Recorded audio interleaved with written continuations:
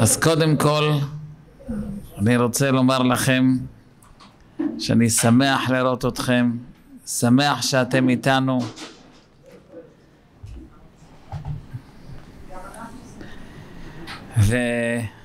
וזהו, אז רציתי היום קצת לומר כמה מילים לפני ראש השנה, שקשורות לראש השנה, וזה דווקא מתאים מאוד עם הפרשה, אז בואו נתחיל. אתם ניצבים היום כולכם לפני השם אלוקיכם, אומר הזוהר הקדוש, אתם ניצבים היום לפני השם, זה ראש השנה. על איזה יום מדברים שניצבים לפני השם? זה ראש השנה. ראשיכם, שבטיכם, זקניכם ושוטריכם, כל איש ישראל. יש כאן שאלה. אמרת בהתחלה כולכם, אתם ניצבים היום כולכם. אז כבר אמרת שאתה מדבר לכולכם. אחר כך פירטת, ראשיכם, שבטיכם, יישר כוח, זקניכם ושוטריכם, כל איש ישראל. בשביל מה אתה אומר עוד הפעם כל איש ישראל? אמרת לי כבר בהתחלה, אתם ניצבים היום כולכם. ופירטת לי ראשיכם, שבטיכם, זקניכם, שוטריכם. למה עוד הפעם כל איש ישראל? שאלה מובנת? פעמיים כולכם, כל איש ישראל? מה כתוב כאן? אני חושב שכתוב כאן נקודה מאוד מאוד מאוד חשובה לראש השנה ולחיים. כשאני אומר אתם ניצבים היום כולכם, כולם פה, ואני מתחיל גם למנות ראשיכם, שבטיכם, זקניכם, שוטריכם. נכון, אתה מונה אותם. אבל בעצם עדיין יש לי מקום לחשוב ולומר שיש פה רמות, יש פה דרגות.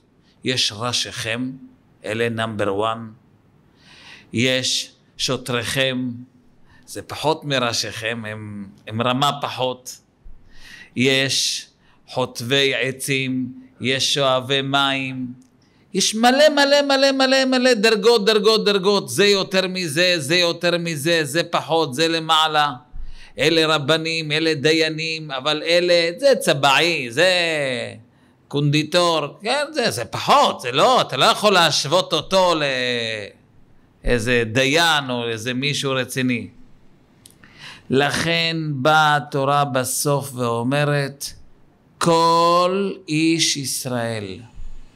אל תחשוב שמה שמניתי לך כאן, ראשיכם, שבטיכם, זקניכם ושוטריכם, התכוונתי, נכון, כולם נמצאים, אבל כל אחד והדרגה שלו.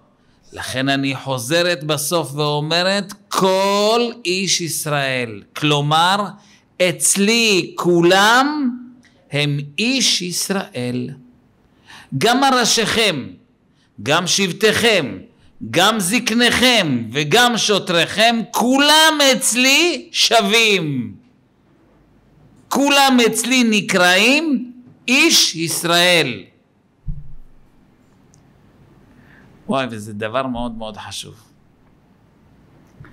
כשאני מסתכל עליך, כשאתה מסתכל עליי, האם אני רואה את עצמי יותר ממך או שווה לך? התורה מלמדת אותנו, ובפרט דרך הבעל שם טוב, שכולנו אותו הדבר, כולם שווים. וזה לא משנה מי אתה ומה אתה עושה ומה הפעילות שלך, בין אם אתה הרב הכי גדול בעולם או איזה יהודי בסוף העולם שהוא בכלל לא יודע מה זה תורה ומצוות. אצל השם כולם בנים שווים, ככה אתה צריך להסתכל. אתה צריך להבין, להסתכל על עצמך אני לא יותר טוב מאף אחד. אה, אבל עובדה שאני רואה שהוא, יש לו הרבה ידיעות ושהוא צדיק גדול, כל הידיעות וכל הצדקות זה הרחמים של השם, זה לא הוא. זה השם מתגלה דרכו בידיעות, בחסד, בכישרון, אבל מצד עצמנו כולנו שווים. הבנתם את מה שאמרתי? אני רוצה לספר לכם חוויה שהייתה לי השבוע. השבוע לקחו אותי להצטלם. הביאו חברת צילום, לקחו אותי להצטלם בציון של רב אושר. איזה אה, תוכנית רדיו. לקחה אותי להצטלם שם, בציון של רב אושר. למה לא? באתי. הצלם היה עם איזה כובע כזה משונה, אוזניות, נראה כזה קצת מצחיק. והוא מסתובב ככה עם המצלמה ומצלם אותי, ותעמוד כאן, ותעמוד פה, ותלך לשם, ותזוז, ותסתובב, ותפתח את הסידור, ו... ואחר כך ראיינו אותי, ושאלו שאלות, והצלם כל הזמן ככה עושה די. כביכול הצלם מצלם את הרב. יש צלם ויש רב. ככה במשך שעתיים וחצי צילומים וראיונות ודיבורים וסיפורים וקשקושים. אבל כל הזמן אני הרב והוא הצלם. נגמר הסיפור, נגמר הצילומים, אז אמרתי עוד כמה, אמרתי, אני כבר בציון של רב אושר, בוא נגיד גם פרקי תהילים, וגם הצלם כבר גמר את העבודה שלו, גם הוא אמר, בוא נגיד כמה פרקי תהילים. לקחתי את הסידור, את הספר תהילים, התחלתי להגיד תהילים. פתאום אני רואה את הצלם מולי, גם הוא ליד בציון של רב אושר, גם הוא בציון, מרים את הכובע שלו לכיוון מעלה, מוריד את המצח שלו על הציון, משתטח על הציון, ככה, על הציון, והתפלל, ביקש את מה שביקש. ואני אומר לעצמי, תראה מה זה.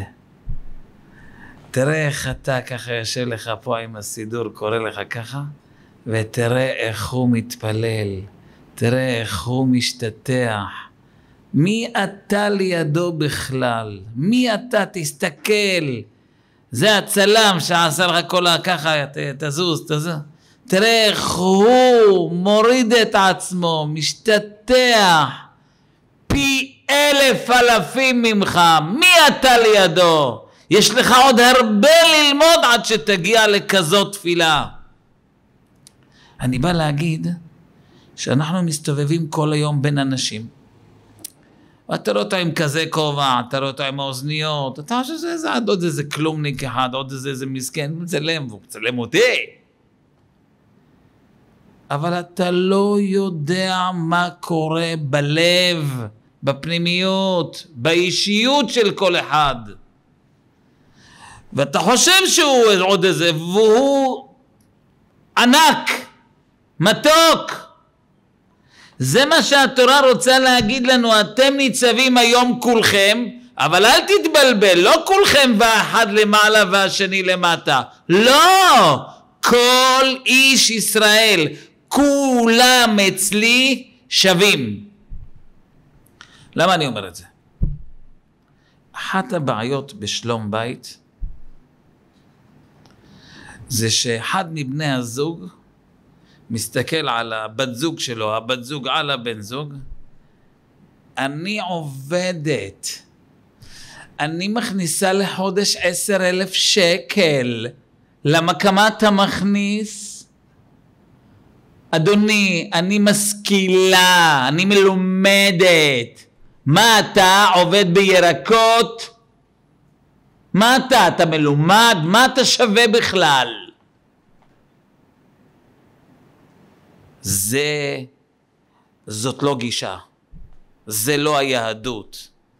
ביהדות, גם אם את מכניסה 15 אלף או 20 אלף, ובעלך מכניס מהירקות שהוא מוכר חמש. אלון, מה זה אומר? מי יותר טוב? מי יותר חכם? מי יותר משכיל? אה? כולם אותו דבר. אבל עובדה שאני מכניסה 15 מה, מה התשובה? בדיוק. זה, זה שאת מכניסה 15 זה לא את. זה השם מזכה לך. בוא תראה איך אני מסודרת. תראה איך אני מקפלת את הבגדים, איך אני מקפלת את המגבות. זה שאת יודעת לקפל מגבות ולשים את הבגדים יפה בארון, זה לא אומר שאת יותר ממנו ואין לך רשות להרים את האף עליו. מי את? את, כן? את ובעלך שווים, שווים. יש לי מעלות, זה לא שלי. זה הרחמים של השם, אבל אני אמור בבית אחד לשני בין בני זוג, לא אני הבעל. אני, המוב... אני הקובע, אני, הכ... אני הגדול פה.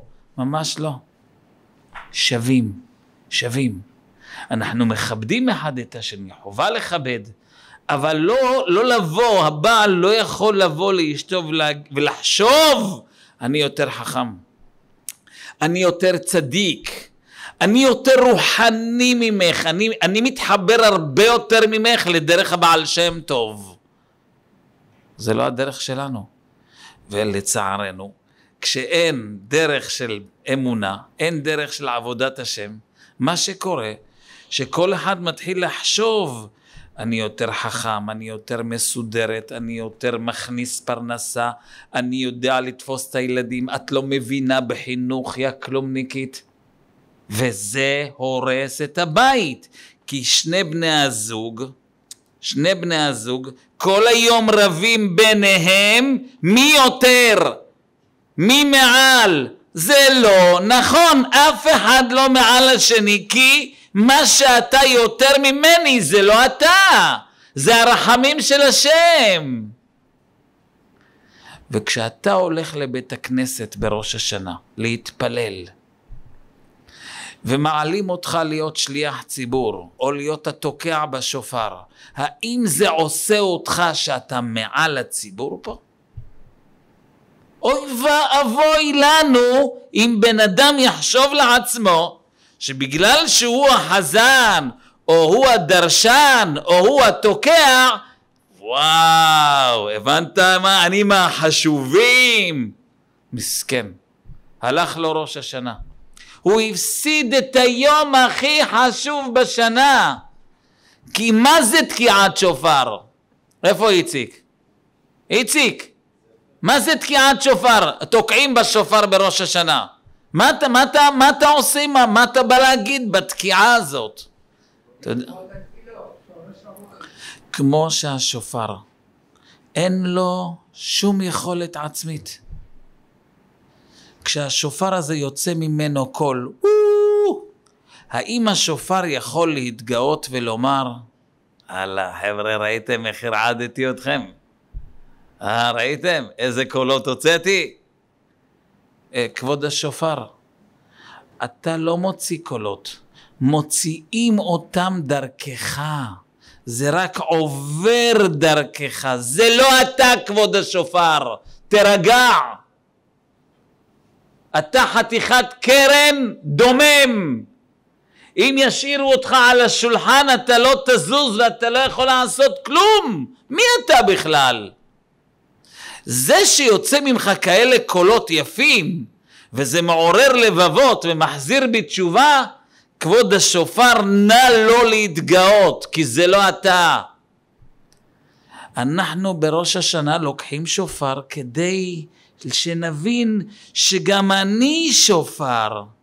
זה שאני יוצא לי מהפה מילים יפות לילדים שלי ואני אימא שמחנכת ולילדים יש משמעת כלפיי, זה לא כי אני האימא המחנכת. לא. זה השם מדבר דרכי לילדים שלי. אני השופר, אני הצינור שדרכו השם מעביר עוגות, בישולים, פיתות, דיבורים, חיוכים. אני רק צינור. אתם רוצים לראות סימן? לכם את הסימן הזה? יש ימים שהקדוש ברוך הוא לוקח לנו את השמחה. כמה פעמים קורה לי בבית שפתאום אני נכבה. בליל שבת, בליל שבת. אז הבת שלי אומרת, אבא, אני לא יכולה ככה עם הפרצופים האלה. אבא, אני לא יכולה, אבא. אבא, תחיה. אבא, די, די, למה אתה עושה? אבא. אני אומר לה, וואי, סליחה. לא יוצא לי, אני לא נמתח. אני לא מצליח לחייך. ואני, אני כבוי. מה זה הכבוי הזה? מה זה הקטעים האלה שפתאום אני נהיה כבוי, חסר מוטיבציה, חסר חיות? מה זה? זה תזכורת מהשם. מותק, בוא תראה מי אתה. אתה כבוי. אתה, אין לך חיוכים. אולי תגיד משהו, אבא, תגיד כמה מילים, מה אתה שותק? מה אתה שותק? תדבר. אין לי מה להגיד. אין לי מה להגיד. וזה מעצבן את כל אלה שסביבך, זה מעצבן שאתה, אבא, פתאום נהיה אילם. מה התשובה? השם מחנך את הבן אדם ומראה לו, מותק, לא אתה מחייך, אני מעביר חיוכים דרכך. לא אתה נותן את המוטיבציה לבני הבית, אני משדר את זה דרכך. אני מעביר דיבורים, את השירים, את הניגונים, את השמחה, את האור דרכך. אתה השופר שלי. אם אנחנו נתקע בשופר בראש השנה ונתחבר למסר של השופר, לא סתם להשמיע קולות. זה לא לתקוע, עשינו קולות, יופי. יש מסר לשופר. אתה כמו השופר, תתחבר לשופר, לשורש, למהות שלו, ושופר זה שיפור. אתה רוצה להשתפר? אתה רוצה שיהיה לך שנה יותר טובה משנה שעברה? אתה רוצה שאתה יצא ממך דברים שופרא דשופרא? אין בעיה, תהיה שופר. מה זה שופר? אני צינור של השם. ואם השם לא יעביר דרכי דברים, אני דומם. אני חסר יכולות מצד עצמי. ורבותיי, רואים את זה. יש ימי שישי שאני קם עם מוטיבציה, עם חשק, לשטוף את הבית לכבוד שבת, להפתיע, לשמח. יש ימי שישי שאני אומר לבת שלי, תעשי טובה, לפני שאימא תבוא. תעשי, ת, תעבירי ניגוב, לפני שהיא תבוא.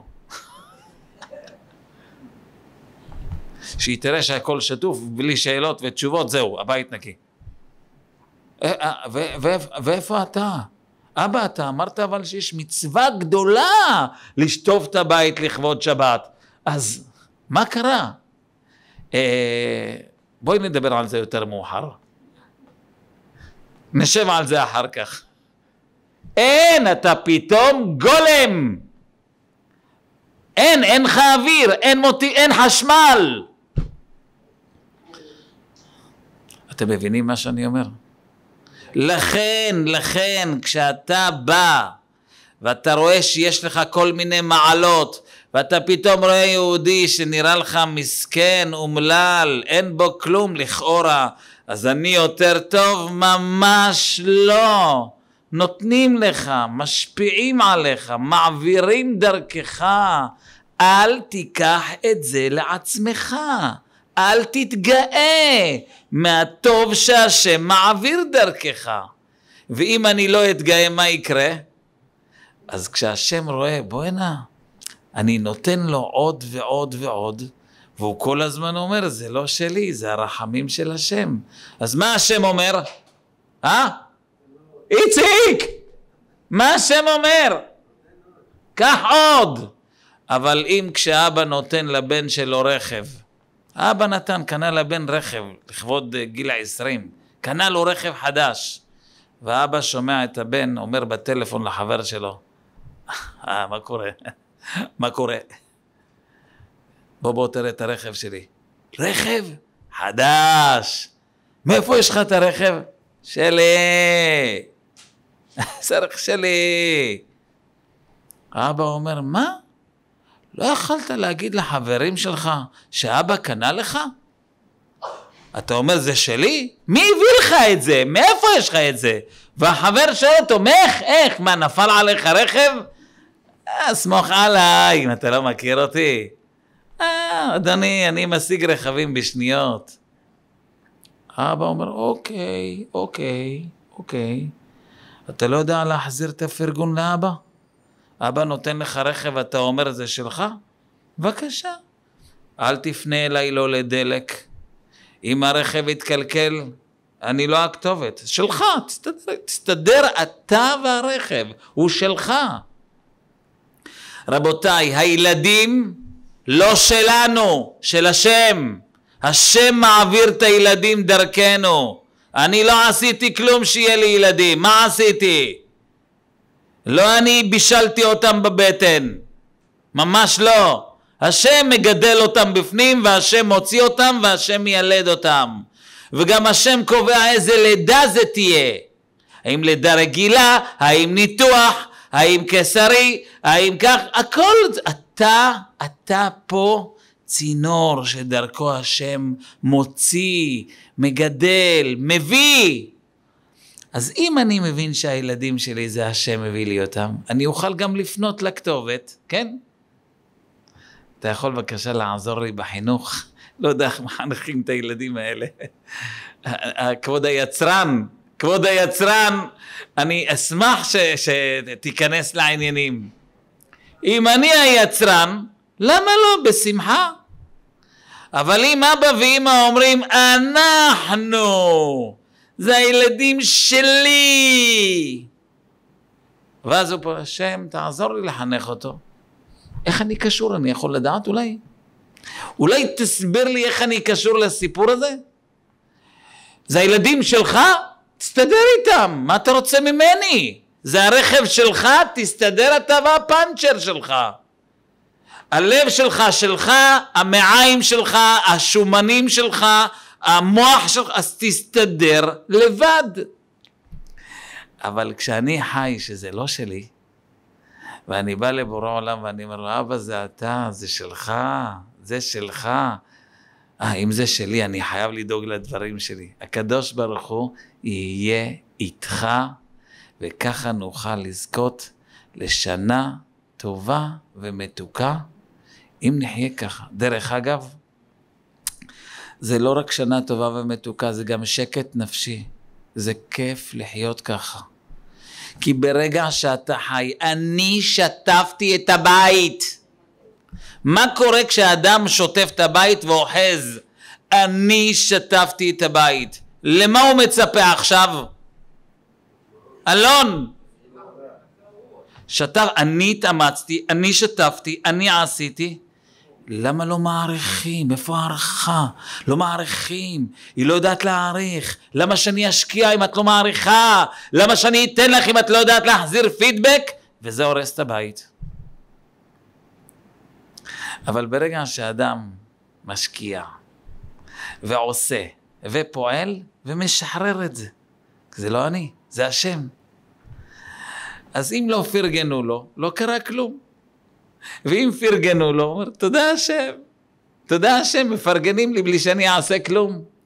הלב שלו נקי, הוא לא כל היום מחשבן, אני עשיתי, נראה מה היא תעשה. אני עשיתי, תליתי כביסה, בוא נראה מה היא תגיד לי. אני עשיתי קניות, בוא נראה מה היא תגיד. אני עשיתי, אני... כל היום חשבונות, אני עשיתי ואני עשיתי. אני לקחתי את הילדים לגן, ומה את עשית? זה חיים זה? אבל כשאתה חי עם האמונה שהשם עושה את הכל, אין חשבונות. יש ראש נקי, משוחרר, הלב חלק, הכל טוב. זה החיים היפים, זה איכות חיים. ואני ברשותכם רוצה לעבור ליסוד הבא, והיה כי יבואו עליך כל הדברים האלה, הברכה והקללה, אשר נתתי לפניך, והשבות אל לבביך בכל הגויים אשר הדיחך השם אלוקיך שמה. התורה אומרת שכשיבואו עליך הברכה והקללה, כשהברכה והקללה יבואו עליך, אז אתה תתעורר. אז אתה תתחיל לעשות חשבון נפש. והמפרשים שואלים, מה, מה הקשר ברכה? ברכה גורמת להתעוררות? מה גורם לבן אדם לעשות מהפך בחיים? ברכה? או הכאבים, הקשיים, אה? מה גורם לבן אדם לעשות מהפך? די, עד כאן אני חייב לשנות דרך. מה? הברכה או הקללה? מה מביא את האדם לשינוי? הצהרות. אז למה התורה אומרת והיה כי יבואו עליך כל הדברים האלה, הברכה והקללה, ושבת עד השם אלוקיך. ברכה בדרך כלל מביאה את האדם, כשיש לו שפע, ל"וישמן ישורון ויבעט". כשיש לאדם ברכה, לא ראיתי אנשים שהשתנו ועשו מהפך בחיים בגלל שהיה להם ברכה. הפוך, רק בעטו. שינויים בדרך כלל מהותיים באים מקשיים, מכאבים, לא מברכות. אז למה התורה כאן אומרת שכשיבואו עליך הברכה והקללה ושבת עד השם אלוקיך? רבותיי, כתוב כאן נקודה מאוד מאוד חשובה. חינוכית וקשורה להרבה הרבה נקודות. אבא, אבא, שרק נותן עונשים בבית, סנקציות, כל היום רק לא, לא, לא, קללה, אבא קשה, אבא קשוח. האם הקשיחות התמידית הזאת, היומיומית, תביא לשינוי חיובי בבית? להפך. אם יש אבא שהוא רק בחינת קללה, רק קושי, רק אבא, אתה מרשה לי ללכת לחברות? יש לי לחברה שלי יום הולדת, אני יכולה לצאת? אצלנו לא יוצאים מהבית. וואי, אבא, אבל יש יום הולדת. מצטער! טוב, בסדר, מה אתה צועק? למחרת, אבא, אתה מרשה לי לעשות פה סיבוב ברחוב עם חברה? ממש לא! אבל למה? לא? אבא, פה ברחוב? לא! אבא, יש מצב שאתה נותן לי כסף לקנות אה, אה, בגד חדש לראש השנה? בשום פנים! אצלי לא גודלים מפונקים! איזה פחד. אבא, אתה יודע שחם היום יש מצב שאני מקבלת כסף לקנות טילון? גברת, יש מים קרים במקרר, זה מספיק למי שחם. מה קורה לאבא כזה? עודד, מה קורה? אבא שרק אומר לא, לא, לא, לא. מה התשובה? מה התשובה? עודד, זה חיובי או לא? גרוע מאוד. זה לא רק שהילדים לא יעשו מהפך, לא ישתנו לטובה, יבוא היום והם יקומו עליו. כשהם יגדלו, הם יעשו לו חשבון אחד על אחד. היום התקשרה אליי אימא, שהיא הייתה, מה זה אימא חזקה? וואו, וואו, וואו, ביג בוס. אבל היא עברה גירושין עם בעלה, התגרשו. ואחרי כמה שנים היא החליטה לחזור אליו. אבל בפעם השנייה היא כבר הייתה רכרוכית כזאת לילד, לבעל שלה. והילדים בבית היו רגילים לראות אימא חזקה, אימא יציבה, אימא שתלטנית. ופתאום כשהתחתנה עוד פעם עם אבא שלהם, בפעם השנייה, אז היא כבר הייתה כזאת, מה שאתה רוצה, מה שזה, מה שזה, וזה שיגע אותם. לנו את קשוחה, לנו את... הכל את שולטת עלינו, ופתאום איתו את נחמדה, מה קרה? וזה גרם להם להתהפך על אימא. הם לא יכלו לקבל שלאבא שלהם, הבעל החדש, היא נחמדה ומה שאתה רוצה, ו... אבל כשהיא איתנו היא פתאום קשוחה. וזהו. והיא היום אומרת, הם כבר ילדים גדולים, לא סופרים אותי, לא רואים אותי, מזלזלים בי, אני משלמת על כל הילדות שהייתה לי איתם. זה כבר קשה עכשיו, כשילד בן שלושים, כן?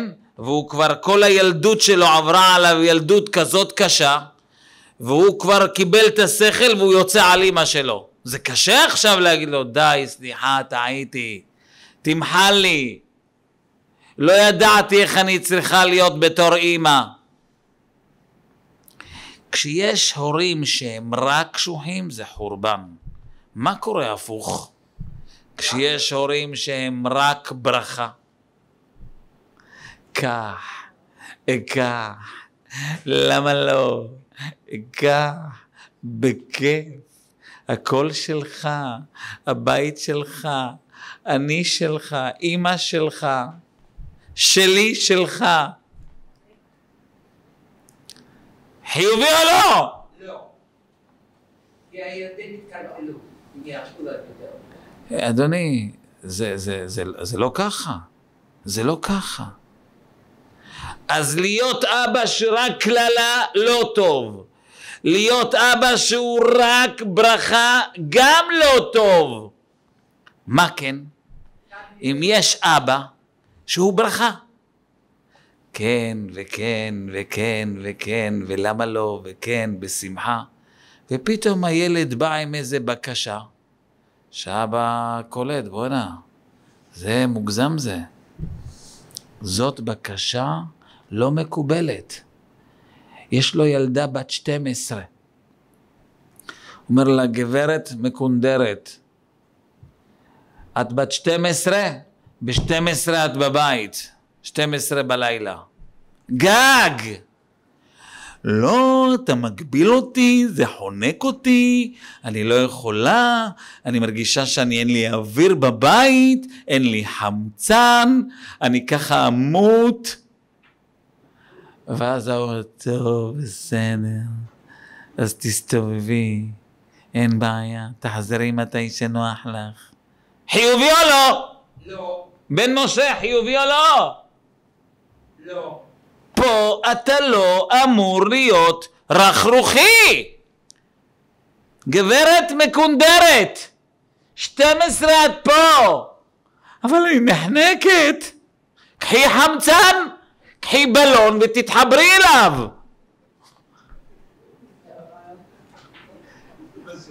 אתה אבא קשוח. מה אתה אומר אלון? אבא שהוא תמיד תמיד תמיד טוב, אבל יש מצבים שבהם הוא מציב גבולות. רבותיי, זה גורם לילדים להעריך את אבא. ילדים צריכים שההורים גם ייתנו להם את המסגרת, ואז כשאתה תמיד אומר כן, כן, כן, כן, כן, כן, ויש מצבים שאתה פתאום אומר לא. הופה, הילד קולט אם אבא עכשיו אמר לו, כשהוא תמיד אומר לי כן, קיבלתי. אני אשמע לך, כי אתה אבא של כן. ואם עכשיו אמרת לי לא, אז הלא הזה זה אמיתי. אותו הדבר בעל ואישה. אותו הדבר בעל ואישה. בעל שכל בקשה שאשתו מבקשת ממנו, לא.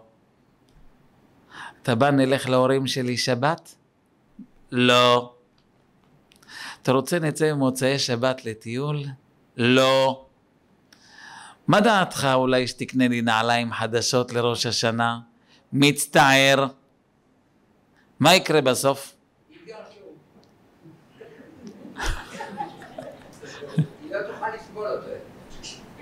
אני הכרתי יהודי שאחרי החתונה שלו התחתן. היה שבת חתן, שבת אחרי זה החמות מתקשרת, שלום, מה שלומכם, מה קורה? רצינו להזמין אתכם לשבת. ככה החמות אומרת לבת שלה. הבת אמרה, הכלה, אמא, אני אשאל את בעלי. כן, למה לא? תשאלי אותו.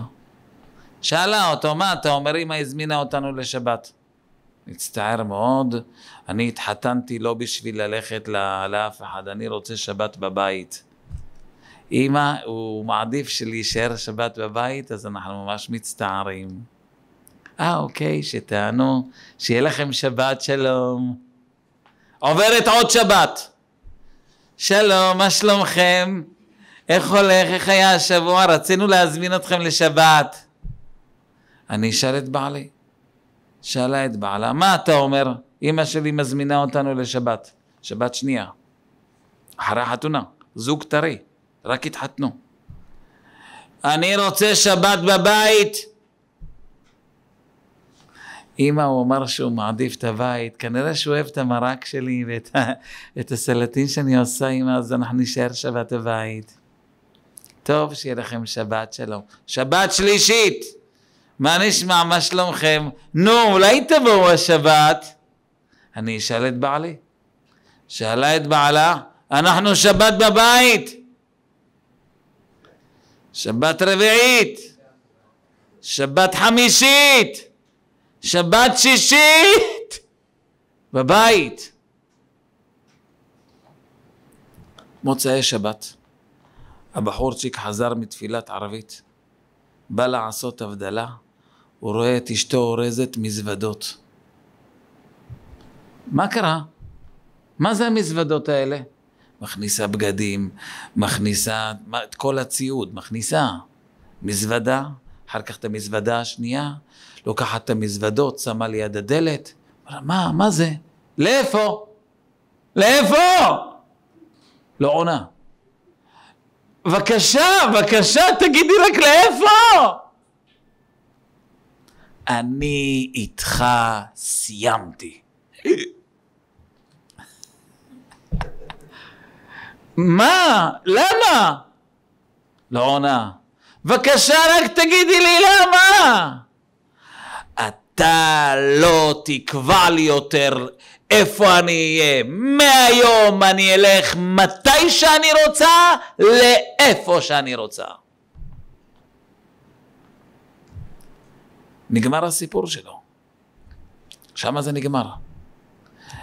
הוא אמר שש שבתות, לא, לא, לא, לא, ומאז הוא כבר לא אומר כלום. זאת אומרת, רבותיי, רבותיי, הקדוש ברוך הוא אומר, והיה כי יבואו עליך כל הדברים האלה, הברכה והקללה, כשהשם מנהיג אותנו, הוא מנהיג אותנו עם ברכה, ומדי פעם הוא נותן התעוררות. אז ושבת עד השם אלוקיך. עכשיו אתה תתעורר, כי אני כל הזמן משפיע עליך טוב, ופתאום אני קורא לך אז אתה תתעורר. זה כדי ללמד אותנו שאנחנו בתור בעלים, אם אתה רוצה שאשתך תכבד אותך, תהיה בעל של כן, ואז אתה תוכל להגיד פעם אחת לא. תהיה אבא של כן, כן בני, כן ביתי, למה לא, בשמחה, מה שאפשר, מה שאפשר, תהיה כן. ואז כשבאמת צריך להגיד את המילה לא, יהיה לה משמעות. זה יסוד חינוכי ממדרגה ראשונה.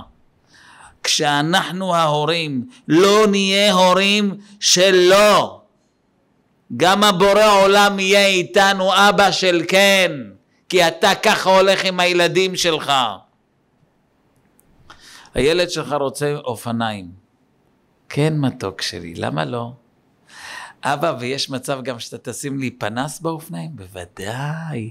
אבא, ואני רוצה גם שתקנה לי את הכובע של האופניים. למה לא, מותק שלי? בכיף. אחרי חודש, אבא, אני רוצה שתקנה לי קורקינט חשמלי. קורקינט חשמלי? בשום פנים. אה, למה? סכנת נפשות. אתה לא שומע כמה אסונות יש? ילדים עם הקורקינט החשמלי נתקעים באוטובוסים? מתוק שלי, בשום פנים. קיבלתי. למה הילד קיבל? כי בדברים שאתה ראית שזה אפשרי, אמרת כן. אז איפה שזה עכשיו צריך להגיד את הלא, אתה תגיד לא. ופה אל תהיה נחמד, פה תהיה אבא חזק. לשמור על הילדים שלך.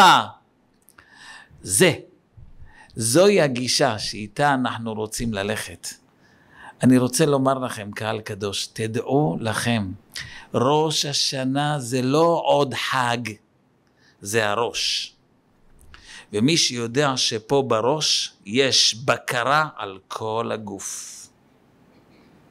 אם חס וחלילה יש איזה שריר, איזה וריד קטן שנחסם חס וחלילה בראש, זה לא נשאר בראש. פתאום יד משותקת, פתאום רגל לא זזה. איך זה, מה זה קשור לרגל וליד? בראש נמצא הכל. כל הגוף כולו בראש. כל השנה כולה מקופלת ביומיים של ראש השנה. לכן כל דקה בראש השנה, כל, ש... כל נקודה בראש השנה, היא כנגד שבוע שיהיה במשך השנה. כל וריד בראש השנה הוא קשור לאיזה עבר שתהיה בשנה כולה. לכן, חשוב מאוד בראש השנה לשמור על אווירה שמחה. לחייך, לתת מילים טובות לאישה, לילדים, למשפחה, לחברים. לחייך, לחייך, כי איך שיראה, איך שנראה אצלך ראש השנה, ככה זה מזרים לכל השנה כולה. אם אנחנו ננצל את היומיים האלה המתוקים של ראש השנה, עם הסימנים, ראש של דג, תפוח בדבש, שתהיה השנה מתוקה כדבש, רימונים, שנהיה לנו מצוות כרימון, תמרים, שיתמו אויבינו, שיתמו שונאינו, כל הסימנים, ראש של דג, שנהיה לראש ולא לזנב, ככה תהיה לנו כל השנה. אני רוצה לברך את הקהל המתוק. אני לא יודע מה אתם מורחים שאתם כאלה מתוקים. מה אתם שמים? מה, איזה, איזה משחה? אבל אתם בלי עין הרע מתוקים כדבש, שהשם יזכה. שתהיה לכולנו, לכם, לכלל ישראל, שנה מתוקה כדבש, אמן כן יהי רצון.